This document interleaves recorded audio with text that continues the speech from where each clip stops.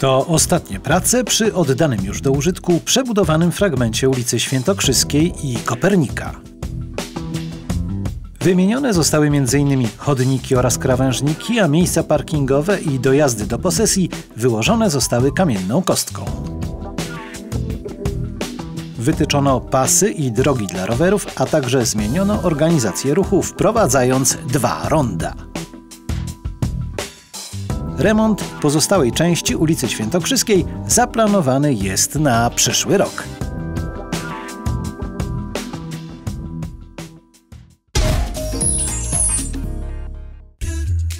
W Muzeum Historycznym Miasta Warszawy przygotowania do wernisażu wystawy Zawód Architekt zorganizowanej w ramach festiwalu Warszawa w budowie. Festiwal odbywa się już po raz piąty. Bohaterami wystawy są architekci, a tematem ich role społeczne oraz wpływ na wygląd i funkcjonalność współczesnego miasta.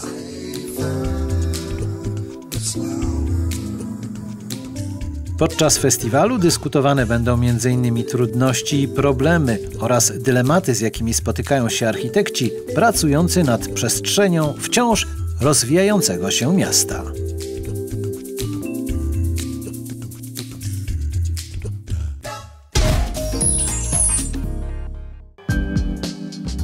Tajemnice kropli wody i innych zagadek fizyki rozwiązywali własnoręcznie najmłodsi na specjalnym pikniku z fizyką. W ramach programu Fizyka w przyrodzie ukryta Fundacja 100 Pociech przygotowała kolejne zajęcia praktyczne dla dzieci.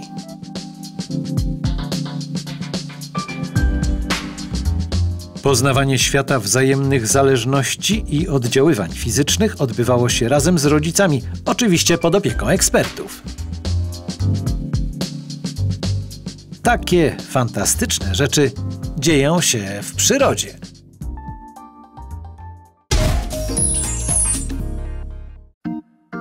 Cztery lata temu warszawski festiwal filmowy znalazł się w ścisłym gronie 14 najbardziej uznanych międzynarodowych festiwali, obok takich jak na przykład w Cannes, w Wenecji czy w San Sebastian.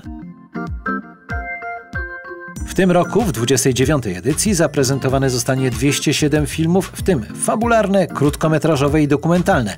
W konkursie głównym wystartuje 6 premier światowych, 3 europejskie i 4 wschodnioeuropejskie.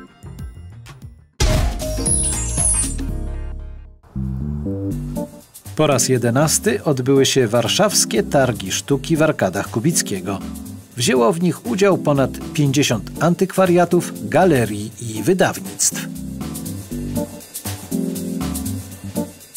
Można było obejrzeć i kupić dzieła artystów współczesnych, znanych i uznanych. Na aukcji wystawiono nawet portret Witolda K., namalowany przez Picassa. Przez trzy dni miłośnicy, koneserzy i kolekcjonerzy sztuki tłumnie odwiedzali targi. Nie zabrakło również edukacyjnych zajęć dla najmłodszych.